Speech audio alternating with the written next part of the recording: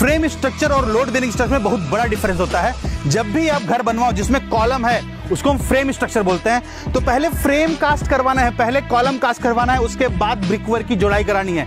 क्यों? क्योंकि आप ब्रिकवर्क के बाद कॉलम की कास्टिंग करवाओगे तो ये कंक्रीट ब्रिकवर्क से ज्वाइंट बना लेगा। और वो ज्वाइंट आपका लोड ट्रांसफ़र करेगा, जिसके कारण ब्रिक में क्रैक्स डेवलप होंगे। क्योंकि वो पार्ट हो गया कंक्रीट